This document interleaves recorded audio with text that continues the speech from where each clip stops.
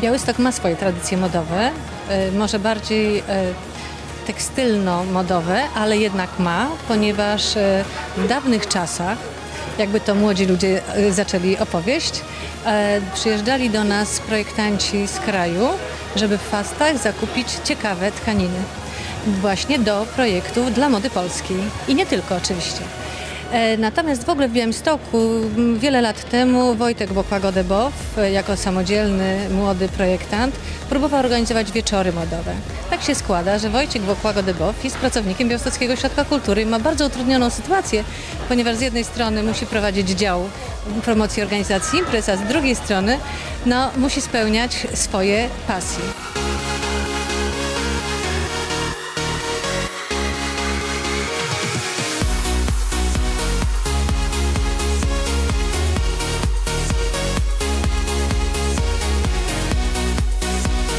Podczas Fashionable East gościliśmy e, wyjątkowych młodych projektantów, bardzo zdolnych e, białostoczan, ale też i osoby, które tworzą w kraju i za granicą. Jest nam niezmiernie miło, że e, udało nam się stworzyć taką platformę współpracy młodych ludzi z gwiazdami już świata mody. Mm, Zobaczyliśmy takie kolekcje, mm, które wywołują wielkie emocje, są też kolekcjami innowacyjnymi.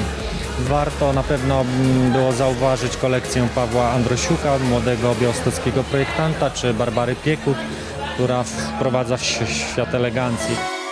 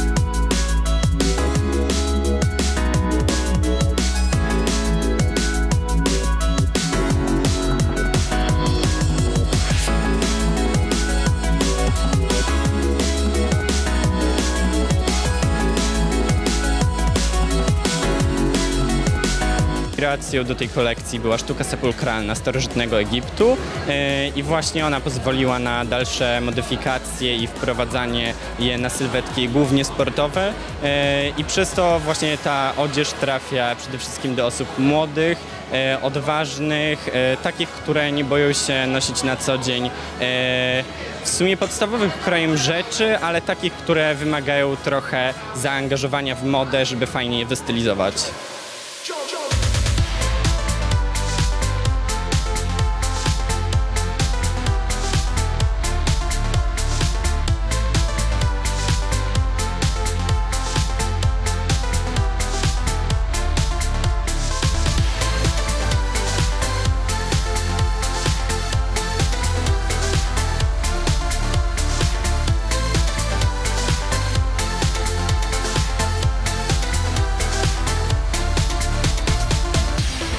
Zaprezentowałam najnowszą kolekcję marki Moja Fashion e, zatytułowaną What Dreams May Come. E, kolekcja jest inspirowana filmem pod tym samym tytułem. Głównie są to suknie wieczorowe i ślubne. E, cała kolekcja oparta jest na emocjach, które budzą się w widzu na poszczególnych etapach oglądania tego filmu. Mam nadzieję, że się podobało. Zapraszam na swojego fanpage'a Moja Fashion na Facebooku i do kontaktu.